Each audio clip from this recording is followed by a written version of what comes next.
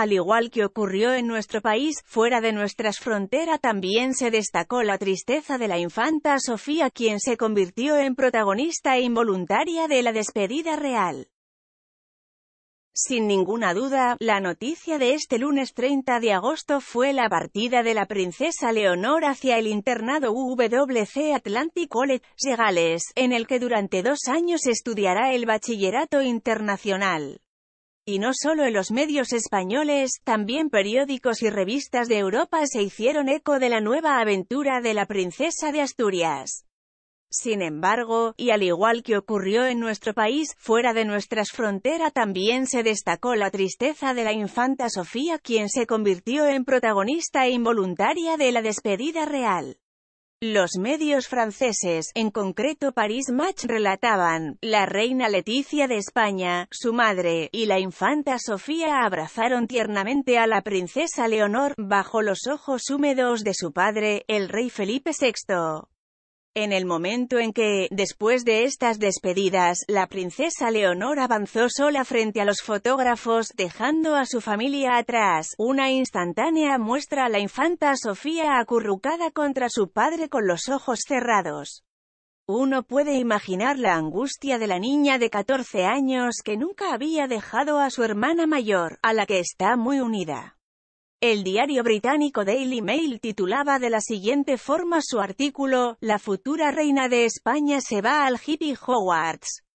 La princesa Leonor se va a un internado de Gales en el que va a aprender tai chi, literatura tibetana y liderazgo junto a la princesa Alexia de los Países Bajos.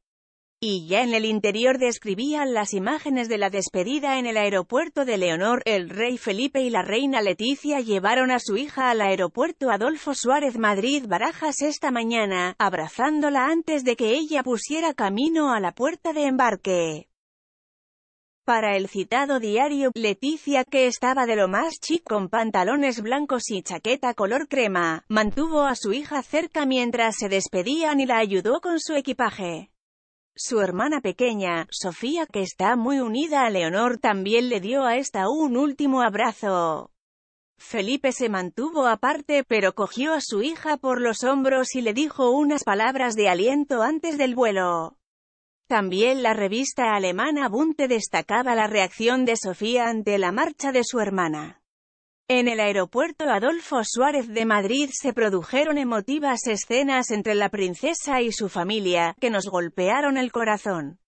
Conmovidos y visiblemente emocionados, Felipe y Leticia de España se despidieron de su hija mayor.